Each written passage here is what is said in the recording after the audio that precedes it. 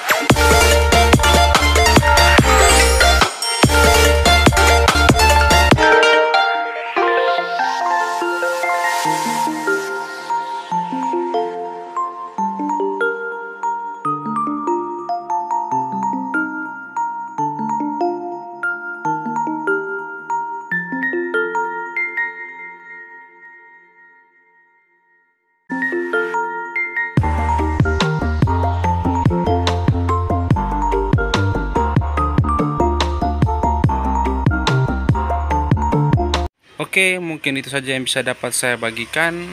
Kurang dan lebihnya mohon dimaafkan karena saya juga masih belajar. Assalamualaikum warahmatullahi wabarakatuh. Salam sukses untuk kita semua.